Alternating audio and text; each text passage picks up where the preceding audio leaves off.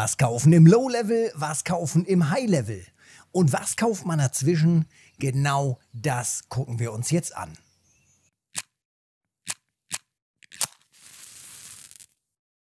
Mit den ersten Setups sparen wir natürlich auf das erste große Ziel. Und das erste große Ziel ist Level 20 zu erreichen, denn ab Level 20 können wir hier zum Volchov und am Volchov gehen wir einkaufen.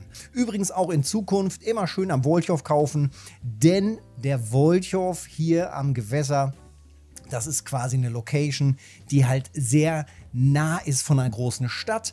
Das heißt, diese Versorgung des Shops ist sehr gut gegeben. Man hat kaum Gegenstände, die ausverkauft sind. Anders bei anderen Shops, die sind immer mal wieder gerne ausverkauft. Das liegt einfach daran, dass die Versorgung mit Gütern ganz schlecht ist. Hier ist es so, immer gut versorgt, immer Top-Preise, also immer 100% Preise, nicht wie bei manchen anderen Gewässern 105, 110% vom Normalpreis sozusagen. Ja, was machen wir denn? Wenn wir nun Level 20 geworden sind, wir wollen den leichtesten Weg gehen, also den Allround-Angler-Weg sozusagen. Alles mitnehmen, was sinnvoll ist, alles mitnehmen, was uns XP und Silber bringt. Dann kaufen wir hier als erstes etwas fürs Grundangeln. Im Idealfall ist man schon bei 60% im Grundangeln, wenn man auch schon Level 20 erreicht hat. Wenn du noch keine 60% hast im Grundangeln, dann angelst du einfach weiter, verdienst auch ein bisschen Silber, sparst noch ein bisschen weiter. Und wenn du erst mit Level 21 die 60% hast, dann kaufst du halt erst mit Level 21. Grundsätzlich muss man sagen, das Schlechteste, was man immer machen kann, ist, ich habe es noch nicht erreicht, das Ziel, ich kaufe jetzt schon mal eine schlechtere Alternative. Das fällt einem später dann quasi auf die Füße, man hat sich was Schlechteres gekauft, man muss sich drei, vier Level später wieder was Neues kaufen. So viel Silber verdient man im Game gar nicht. Also, ab 60% können wir Karpfenruten kaufen. Bedeutet, wir kaufen uns Karpfenruten und zwar kaufen wir uns die Fortuna Carp 360XH. Diese Route ist der absolute Hammer. Nutzbar theoretisch schon ab Level 16, aber ab Level 16 gibt es noch keine gute passende Rolle dafür. Das heißt, wir sparen uns das Geld bis Level 20 und gehen dann richtig shoppen.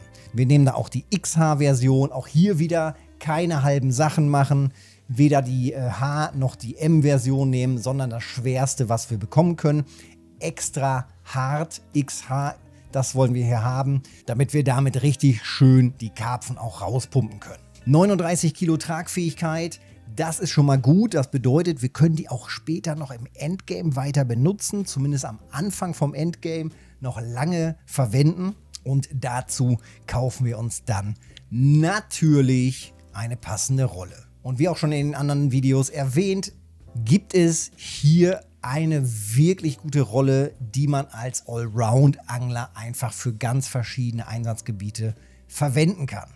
Der Vorteil von der Siberia Kaliber HSV 8000 liegt bei der sehr hohen Schnurfassung. Das heißt, wir kriegen hier wahnsinnig viel Schnur drauf. Wir haben hier so einen großen Karpfenspulenkopf, wo hier sehr viel dicke Schnur drauf passt. Der nächste Vorteil, wir haben eine richtig gute Bremskraft im Verhältnis zum Preis. Also für das wenige Silber bekommen wir richtig viel Bremskraft.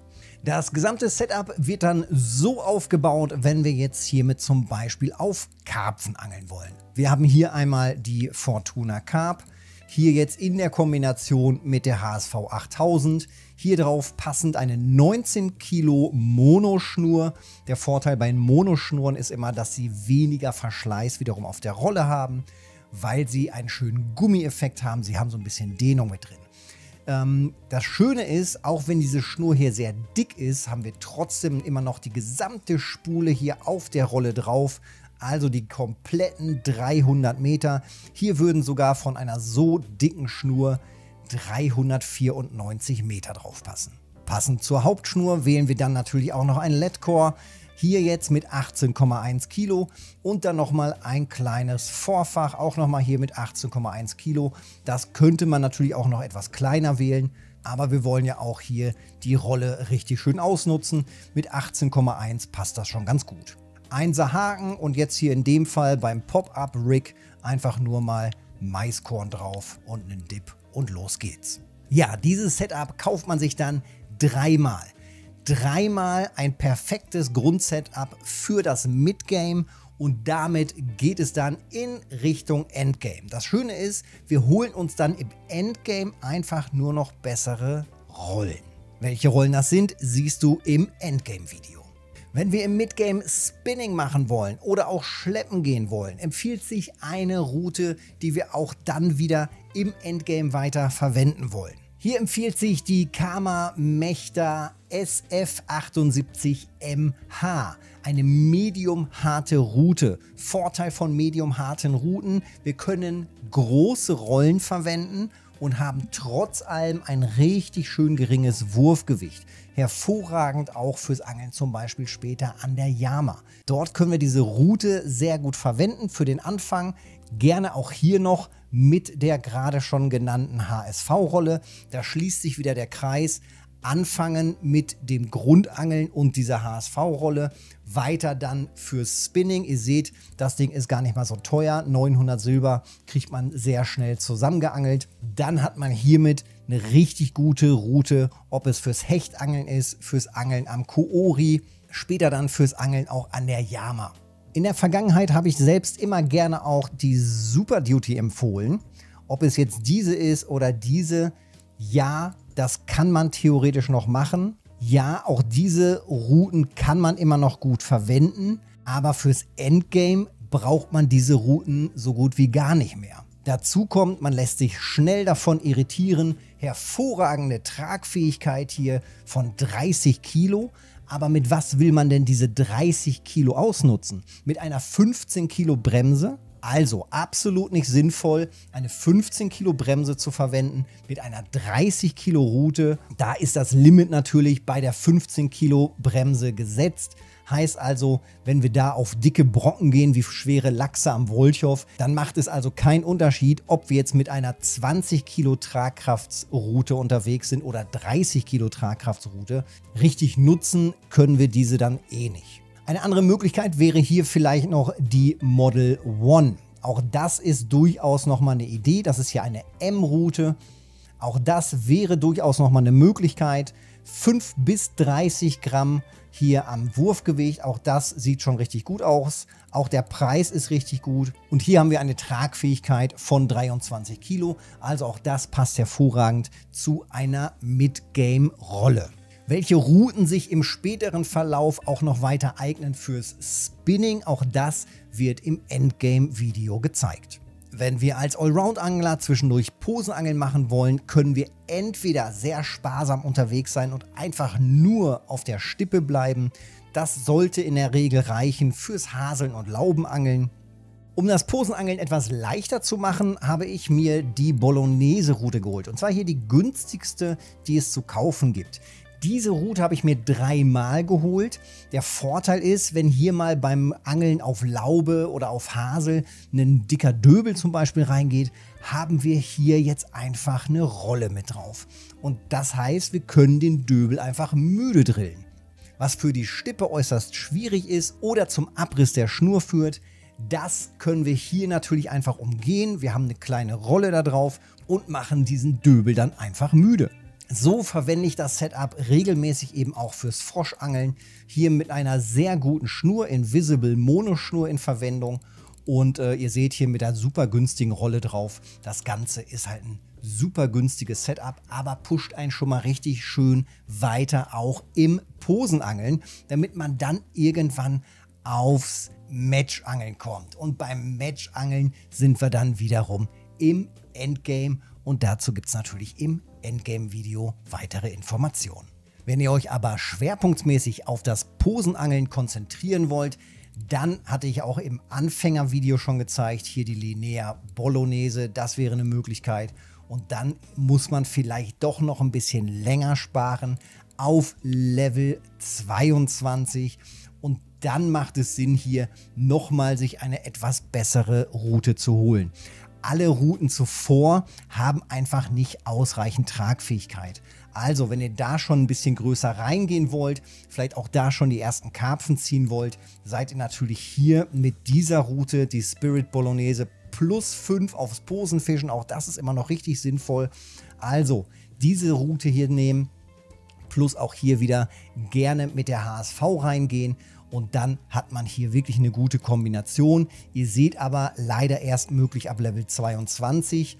Darunter ab Level 21 hier nur mit 7 Kilo an Tragfähigkeit, 8 Kilo Tragfähigkeit. Ihr seht, das ist alles nicht so wahnsinnig gut. Eine Zwischenlösung wäre hier die Model One. Da liegen wir bei ungefähr 10 Kilo an Tragfähigkeit. Ja, aber wir wollen ja keine Zwischenlösung.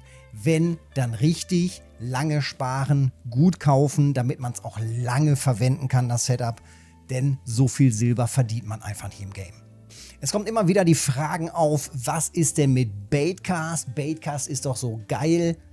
Ja, absolut richtig. Baitcast macht auch richtig Bock und zwar in diesen beiden Extremfällen. Also Extremfall super leichtes Angeln und Extremfall super schweres Angeln. In diesen beiden Bereichen macht es absolut Sinn weil das Setup in diesem leichten Bereich sehr gut ist und auch im hohen Bereich sehr gut ist.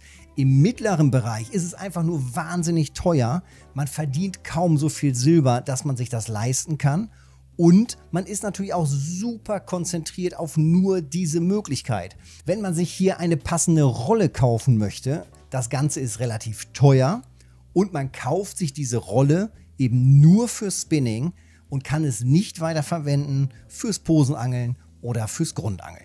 Dementsprechend empfiehlt sich im Midgame absolut erstmal das Spinning und die Spinning-Routen. Und wie gerade schon gesagt, im Endgame, dann geht es dann aufs detaillierte Angeln. Dann kauft man sich einfach das, was man gerade möchte. Ja, dann gibt es natürlich noch Kleinigkeiten, die man sich im Midgame auch so Stück für Stück einfach dazu holt. Zum einen das Fernglas, dass man vielleicht so zwei Zoom-Stufen hat. Das ist natürlich gerade für die Posenangler immer wieder ganz praktisch. Oder mal so eine Campinglampe. Dann geht man natürlich schon einfach auch mal dahin, dass man das Game einfach so ein bisschen genießt. Denn sobald man das erste Grundsetup dreimal zusammengestellt hat, kommen die Kohlen einfach rein. Und das nutzen wir natürlich auch aus, gerade wenn man als Grundangler dann eben auch sein Silber verdient, vielleicht auch beim Karpfenangeln holen wir uns alles das, was noch weiter wichtig ist. So zum Beispiel zum Skillen der Köderbeschaffung nochmal einen Köderfischeimer für knapp 1000 Silber, die Kombizange, damit wir vernünftige verschiedene Vorfächer herstellen können oder hier den Bait Grinder. Ihr seht, das sind alles wieder große Summen, die man ausgibt im Midgame, damit man startklar ist, eben dann auch später fürs Endgame. Auch so Kleinigkeiten wie natürlich eine Schaufel oder eben das Filetiermesser oder hier die Schöpfkelle. Das sind so Sachen, die man entweder im Early Game oder halt im Midgame spätestens dann so ab Level 20 plus sich dann leistet, wenn man das erste Midgame Grundsetup gekauft hat. Ja, und das ist natürlich jetzt eine Möglichkeit, das Game zu spielen und eine sehr gute Möglichkeit, durch das Game zu kommen, mit viel Sparen, mit Routen und Rollen, die man ganz wichtig lange verwenden kann. Also man kauft sie einmal und hat sie quasi in allen Levelphasen immer noch im Einsatz oder man kann sie immer noch gut verwenden. Das ist immer mein Ansatz gewesen, dass man eben gut überlegt einkauft und sein Silber dort ausgibt, wo man es später eben nicht bereut, dass es dann einfach nur noch in der Tasche rumliegt. Sind das denn die einzigen Rollen und Routen, die gut sind?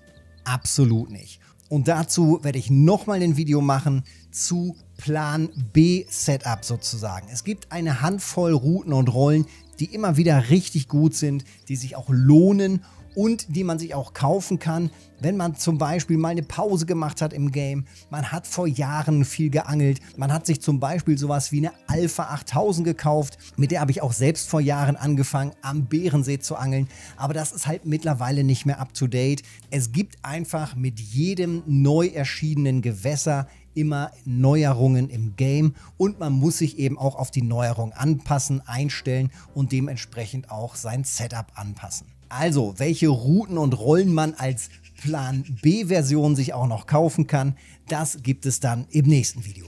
Wenn dir das Ganze jetzt hier geholfen hat, Daumen da lassen, Kanal abonnieren hilft mir. Und dann sehen wir uns im nächsten Video oder im Livestream auf Twitch, montags, mittwochs und freitags immer um 19 Uhr. Petri.